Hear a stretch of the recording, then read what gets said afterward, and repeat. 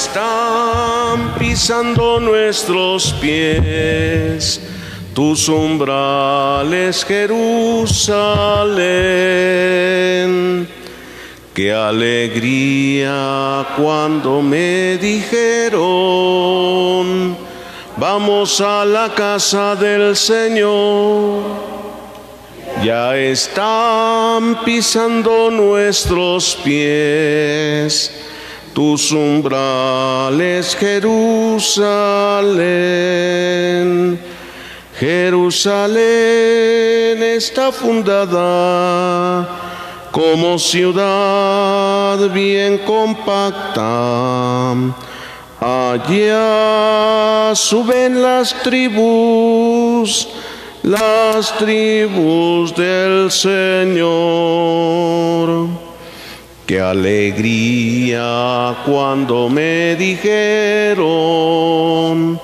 vamos a la casa del Señor. Ya están pisando nuestros pies tus umbrales, Jerusalén. En el nombre del Padre, del Hijo y del Espíritu Santo. Amén. El Señor esté con ustedes. Vamos a disponernos a celebrar la Eucaristía. Vamos a pedir en esta celebración por el eterno descanso de los difuntos María del Carmen Ramírez Ríos, María Teresa, María Mercedes, María Elena, María Natividad y María Ramírez Ríos. Por la religiosa Marta Teresa Ramírez Ríos, por Ángel Becerril Vázquez, Daniel Ramírez, María Lucía Ríos, Gregorio Montiel Monroy, Delia Mercedes Rojas García, Juan Cárdenas González, por las almas del purgatorio, por Felipe Hipólito Nabor, María de Lourdes Arroyo de Cheu, Guillermo Camarillo Gaitán en su décimo aniversario. Pedimos también por la salud de Adriana y Magdalena García, por Eduardo Fuentes Bernal, por los jóvenes que están viviendo el preseminario, por el padre Jorge Alberto Becerril y el padre Joel que celebran hoy su cumpleaños. Pongamos todas estas intenciones en las manos de Dios y que Él las atienda conforme a su voluntad. Pedimos perdón de nuestros pecados.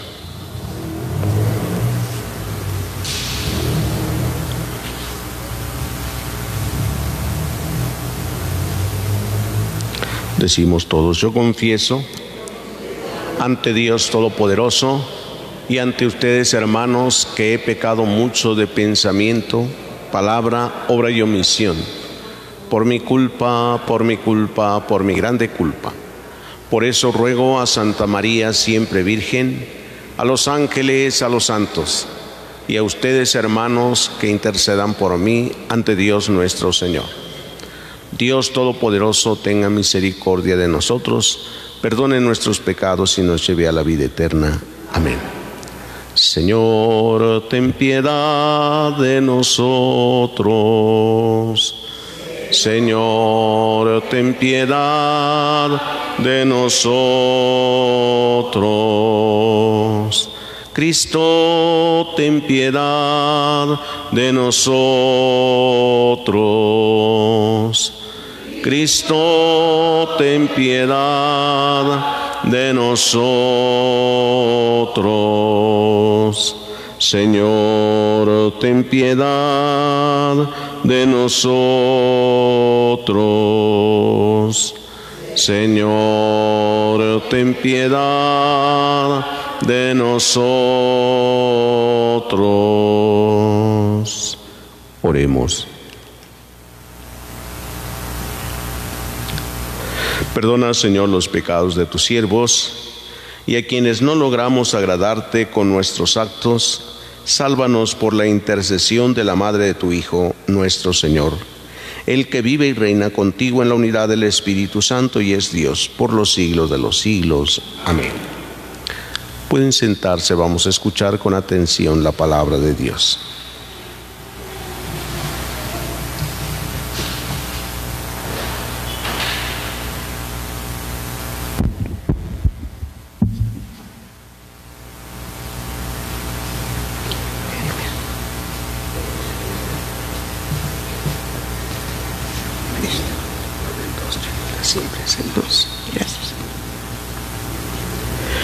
Del libro del profeta Jeremías. Esta es la palabra del Señor que escuchó Jeremías. Ponte a la entrada del templo y proclama allí estas palabras. Escucha Judá la palabra del Señor. Escúchenla ustedes los que, los que entran por estas puertas para adorar al Señor. Esto dice el Señor de los ejércitos, el Dios de Israel.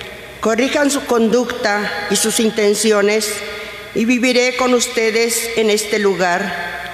No se hagan ilusiones con razones falsas, repitiendo, este es el templo del Señor, este es el templo del Señor, este es el templo del Señor. Si corrigen su conducta y sus intenciones, se aplican bien la justicia entre los hombres y no explotan al forastero, al huérfano y a la viuda si no derraman sangre inocente en este lugar y no siguen para mal de ustedes a dioses extranjeros, entonces yo habitaré con ustedes en este lugar, en la tierra que desde hace tanto tiempo y para siempre les di a sus padres. Ustedes, en cambio, ponen su confianza en palabras engañosas que no sirven de nada porque roban, matan, cometen adulterios y perjuicios, queman incienso a los ídolos, adoran a los dioses extranjeros y, desconocidos y creen que con venir después a presentarse ante mí en este templo, donde se invoca mi nombre y con decir estamos salvados, basta para poder seguir cometiendo todas esas iniquidades ¿Creen acaso que este templo donde se invoca mi nombre es una cueva de ladrones? Tengan cuidado, porque no estoy ciego, dice el Señor. Palabra de Dios. Qué agradable Señor es tu morada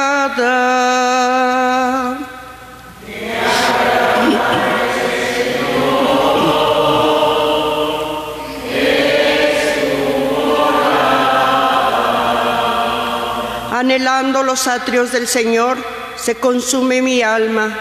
Todo mi ser de gozo se, estremece y el Dios vivo es la causa. Qué agradable Señor es tu morada. Hasta el gorrión encuentra casa y la golondrina un lugar para su nido cerca de tus altares, Señor de los ejércitos, Dios mío. Qué agradable Señor.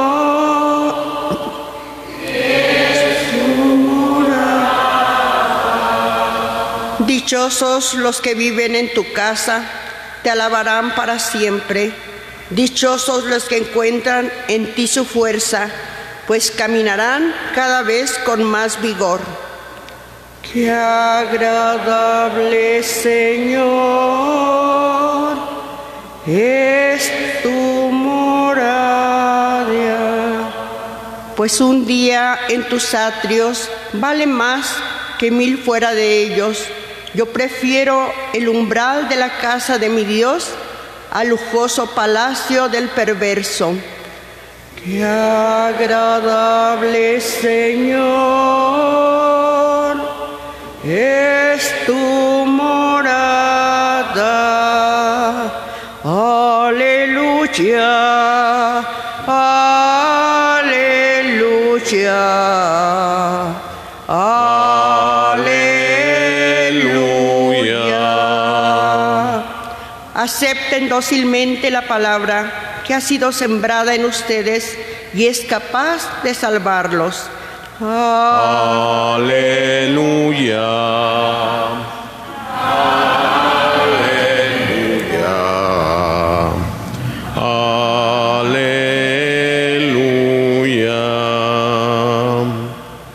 Señor esté con ustedes.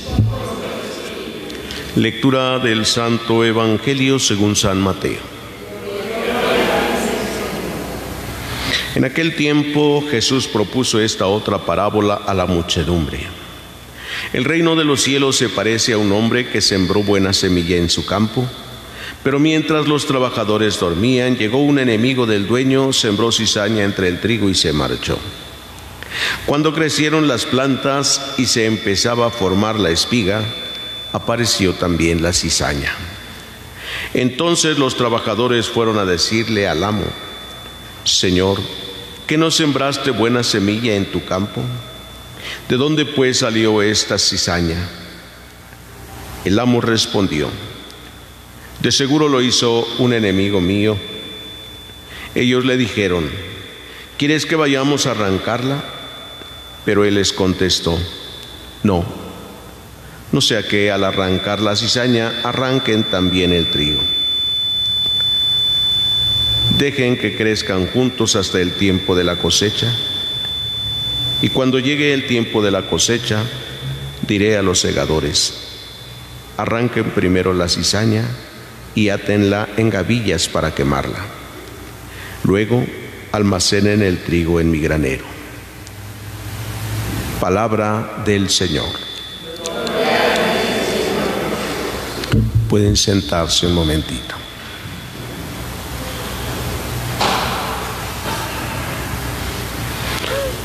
Queridos hermanos, estos pasajes de la escritura que hoy hemos escuchado hacen una gran referencia al comportamiento humano. Hoy podemos ver muchas cosas en el mundo que están que suceden.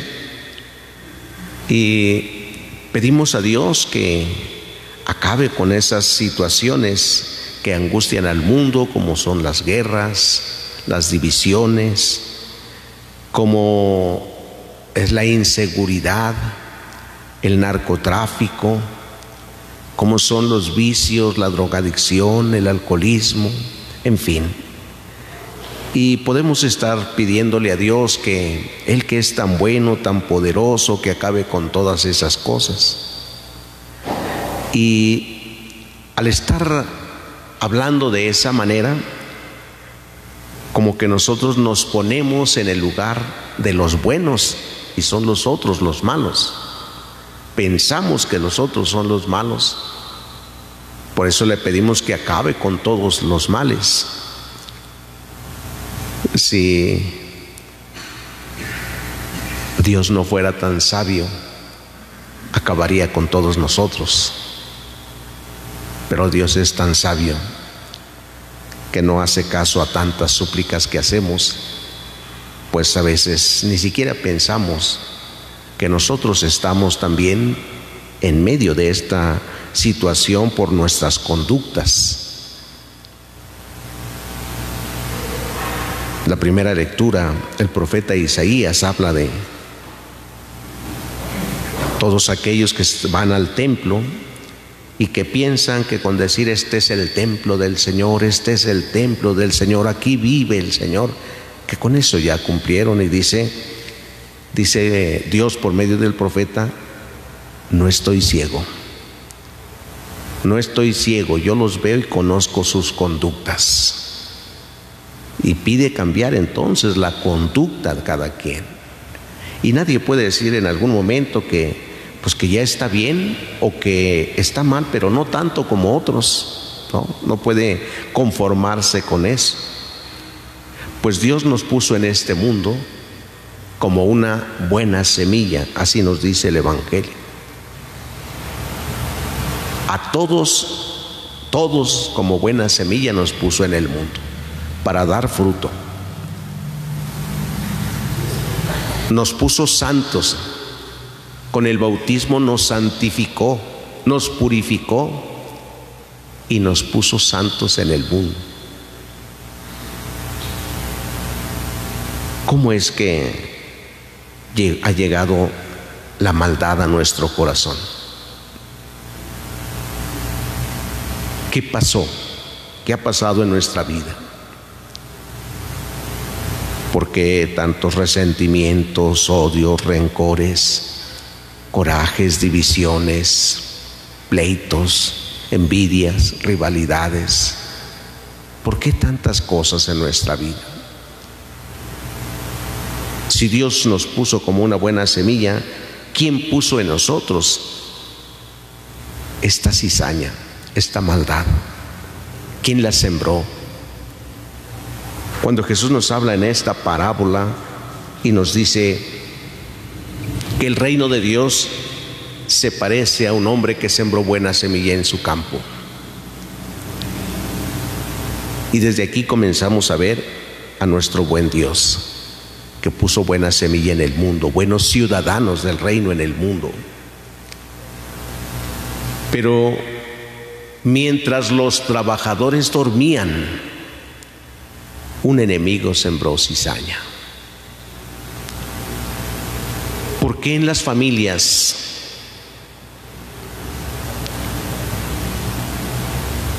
un hijo, una hija, siempre se desvían del camino?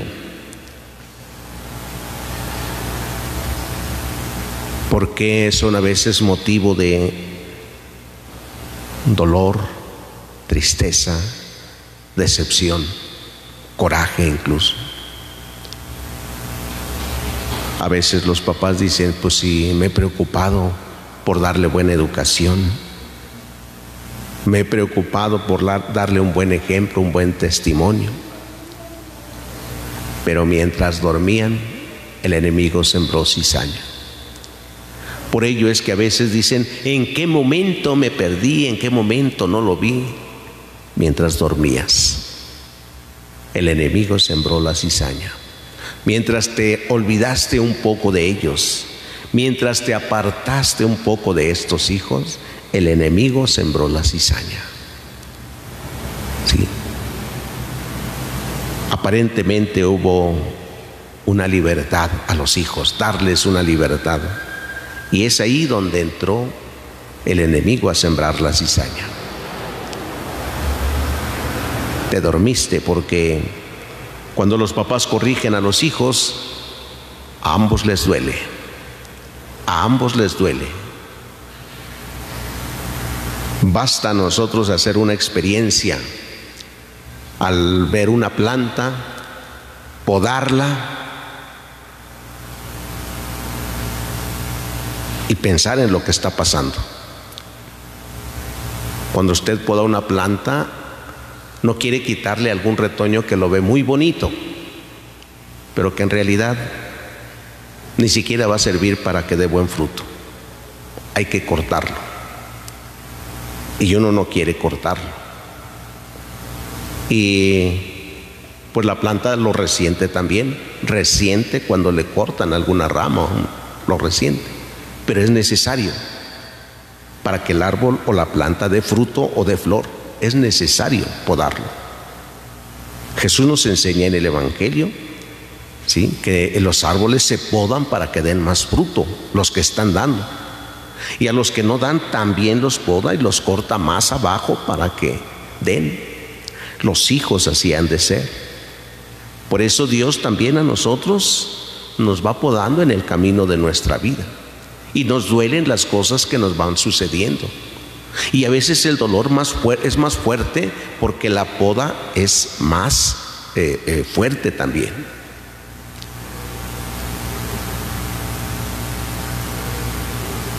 El enemigo siempre va a sembrar cizaña. Y hay que estar atentos. Por eso Jesús nos dice, velen y hagan oración. Siempre estén velando y haciendo oración. Vuestro enemigo el diablo como león rugiente anda buscando a quien devorar. Velen. Cuando en esta parábola del sembrador le dijeron al amo, ¿quieres que arranquemos la cizaña? Ah. Los servidores se pusieron del lado bueno también. Nosotros son los malos. ¿Quieres que arranquemos la cizaña? Como aquellos dos apóstoles que fueron, que andaban con Jesús y que en un momento dijeron, ¿quieres que hagamos bajar fuego para que acabe con estos que no entienden? Jesús les llama la atención que no. Y en este sembrador también dice, no, no arranquen la cizaña. Déjenla que crezca junto con el trigo. No sea que al arrancar la cizaña, arranquen también el trigo. ¿Ah? Se trata entonces de cambiar la propia vida. No querer que los demás eh, o que Dios cambie la vida de los demás, sino de cambiar la propia vida en nuestras actitudes. Esto nos haría, nos llevaría bien a hacer como una reflexión y recordar los pecados capitales, que es de ahí donde surge toda la maldad, es la raíz de donde surge. ¿Se acuerdan de algunos pecados capitales, por ejemplo? ¿Como cuáles son?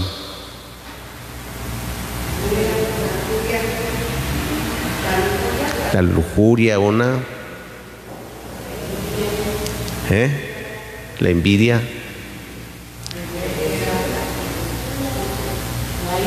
La ira. La gula. La pereza. Son la raíz de todos los males. Nos llevaría a pensar ahora nosotros en ello, ¿verdad? Quizás no tengamos un, pecado capital que nos esté molestando, quizás sea otro capital, en fin. A veces la pereza, la pereza que tantas cosas nos puede llevar a vivir la irresponsabilidad, eh, a ser eh, incompetentes por la flojera. En fin, de la flojera salen muchísimas cosas. Entonces pidámoslo yo a Dios nuestro Padre que nos conceda hacerle caso a lo que el profeta nos ha dicho también hoy en este día. No pongan ya su confianza en palabras engañosas, porque no sirven de nada. Pongamos nuestra fe y nuestra confianza en Dios y hagámosle caso al profeta que nos dice, cambien su conducta. Pues Dios dice, ¿Creen acaso ustedes que soy ciego? No estoy ciego, dice el Señor. Nos conoce, nos ve. No podríamos engañar nunca a Dios en ningún lado.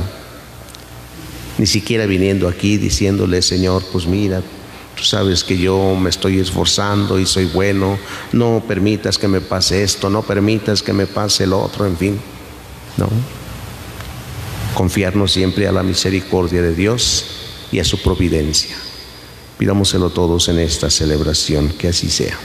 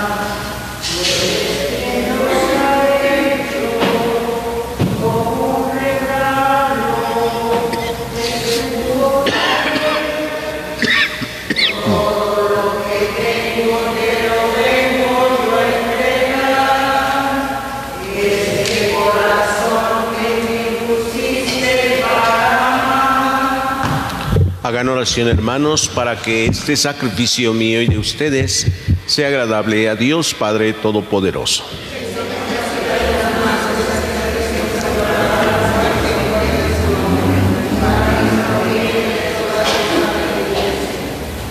Recibe, Señor, los dones que te ofrecemos y haz que nuestros corazones, iluminados con la luz del Espíritu Santo, siguiendo el ejemplo de la bienaventurada Virgen María, puedan buscar y cumplir siempre tu voluntad por Jesucristo nuestro Señor. El Señor esté con ustedes. Levantemos el corazón. Demos gracias al Señor nuestro Dios. En verdad es justo y necesario, nuestro deber y salvación, darte gracias, Padre Santo, fuente de la vida y del gozo, porque en esta etapa final de la historia has querido revelarnos el misterio escondido desde siglos, para que así el mundo entero retorne a la vida y recobre la esperanza en Cristo nuevo Adán y en María nueva Eva. Se revela el misterio de tu iglesia como primicia de la humanidad redimida. Por este inefable don, la, la creación entera, con la fuerza del Espíritu Santo, emprende de nuevo su camino hacia la Pascua eterna. Por eso nosotros, unidos a los ángeles y a los santos, cantamos a una voz el himno de tu gloria. Santo, santo, santo es el Señor. Oh, sana en las alturas. Es el que viene en nombre del Señor en unión del coro de tus ángeles en el cielo. Te alaba el coro de tu iglesia en la tierra. Oh sana en las alturas. Bendito es el que viene en nombre del Señor. Santo eres en verdad, Señor, fuente de toda santidad. Por eso te pedimos que santifiques estos dones con la efusión de tu Espíritu, de manera que se conviertan para nosotros en el cuerpo y la sangre de Jesucristo nuestro Señor, el cual, cuando iba a ser entregado a su pasión voluntariamente aceptada, tomó pan. Dándote gracias, lo partió y lo dio a sus discípulos, diciendo, tomen y coman todos de él porque esto es mi cuerpo que será entregado por ustedes.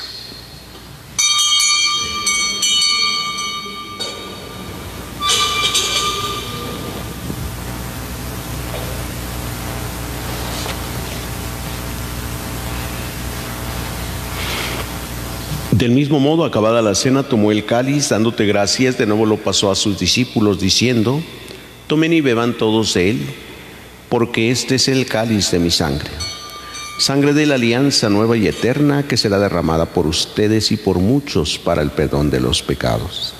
Hagan esto en conmemoración mía.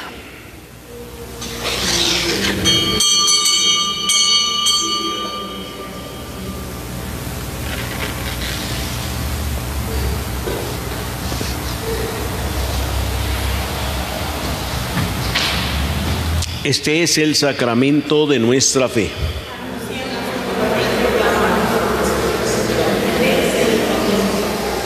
Así pues, Padre, al celebrar ahora el memorial de la muerte y resurrección de tu Hijo, te ofrecemos el pan de vida y el cáliz de salvación y te damos gracias porque nos haces digno de servirte en tu presencia.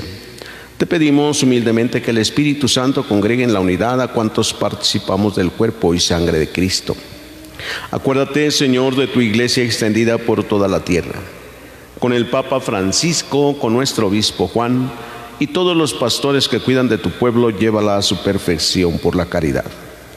Acuérdate también de nuestros hermanos que se durmieron en la esperanza de la resurrección y de todos los que han muerto en tu misericordia, admítelos a contemplar la luz de tu rostro. Ten misericordia de todos nosotros y así con María la Virgen, Madre de Dios, los apóstoles y cuantos vivieron en tu amistad a través de los tiempos, merezcamos por tu Hijo Jesucristo compartir la vida eterna y cantar tus alabanzas.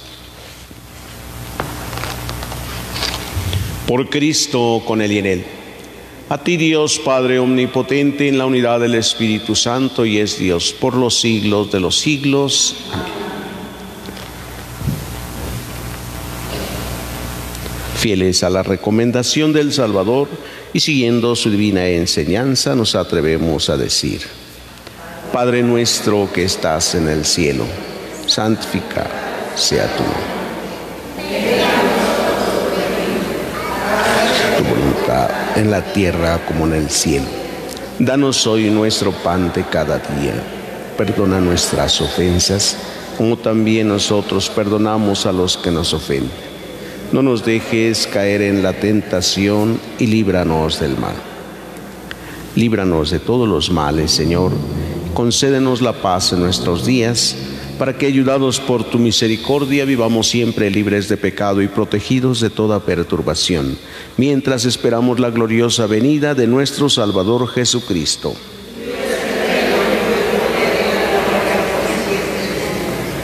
Señor Jesucristo, que dijiste a tus apóstoles, la paz les dejo, mi paz les doy. No tengas en cuenta nuestros pecados, sino la fe de tu iglesia. Conforme a tu palabra, concédele la paz y la unidad tú que vives y reinas por los siglos de los siglos. Amén. La paz del Señor esté siempre con ustedes.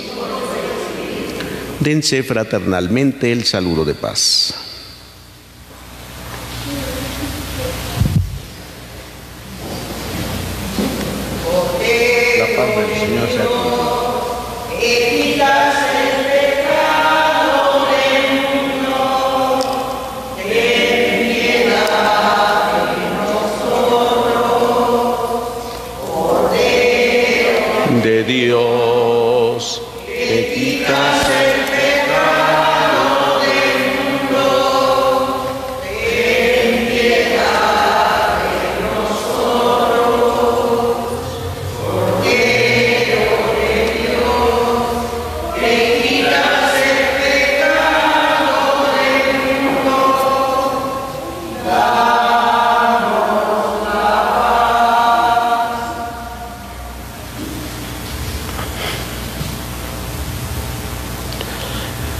Este es Jesús, el Cordero de Dios que quita el pecado del mundo. Dichosos los invitados a la cena del Señor. No soy digno de que entres en mi casa, pero una palabra tuya bastará para sanar.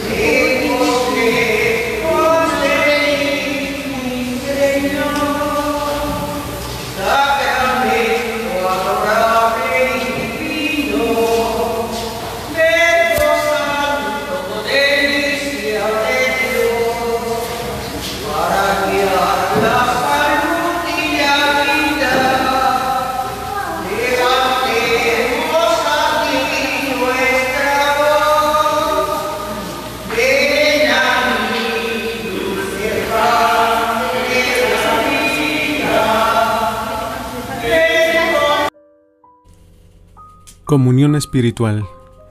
Creo, Jesús mío, que estás realmente presente en el santísimo sacramento del altar. Te amo sobre todas las cosas y deseo ardientemente recibirte, pero no pudiendo hacerlo ahora sacramentalmente, ven al menos espiritualmente a mi corazón, y como si ya te hubiera recibido, te abrazo y me uno del todo a ti. Señor, no permitas que jamás me aparte de ti. Amén. Comunión espiritual. Alma de Cristo, santifícame. Cuerpo de Cristo, sálvame. Sangre de Cristo, embriágame. Agua del costado de Cristo, lávame. Pasión de Cristo, confórtame. Oh buen Jesús, óyeme. Y dentro de tus llagas, escóndeme. No permitas que me aparte de ti. Del enemigo defiéndeme. En la hora de mi muerte, llámame. Y mándame ir a ti para que con tus santos te alabe por los siglos de los siglos. Amén. Sagrado Corazón de Jesús, en vos confío. Sagrado Corazón de María, sé la salvación del alma mía. Bendito San José, aumenta nuestra fe.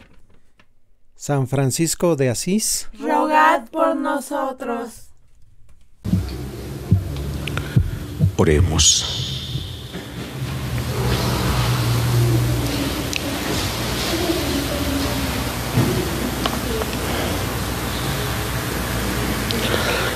Habiendo recibido el sacramento de la salvación y de la fe, te pedimos, Señor, que al conmemorar con devoción a la Santísima Virgen María, merezcamos participar con ella del amor divino. Por Jesucristo nuestro Señor.